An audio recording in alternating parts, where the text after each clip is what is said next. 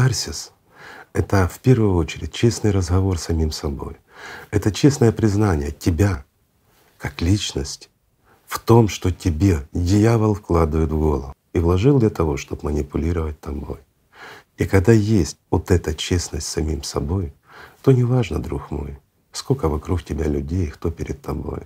Важно, что ты честен перед самим собой, а значит, ты, друг мой, ты честен перед Богом. И вот это самое важное. То если ты начинаешь слышать шепот даже того же сатаны, ты начинаешь видеть те мысли, которые тебе навязываются, то ты уже не раб шайтана, ты уже человек, потому что ты начинаешь видеть сатану.